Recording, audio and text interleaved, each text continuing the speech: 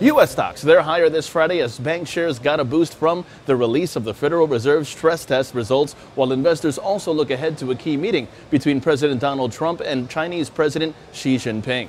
Now, JP Morgan Chase, Morgan Stanley, Citigroup, Wells Fargo, all rising more than 1.5% this morning. Goldman Sachs and Bank of America gaining more than 2% each. Gains that come after they passed the Federal Reserve's annual stress test and got approval to boost dividends and share repurchase programs. Meanwhile, in the forex market, the euro dollar that begins with further advance. The British pound US dollar pair sees a consolidation in place, while the dollar yen also sees a consolidation in place. Now, the US dollar Canadian dollar pair that's in focus as it is challenging the February low ahead of April's GDP release.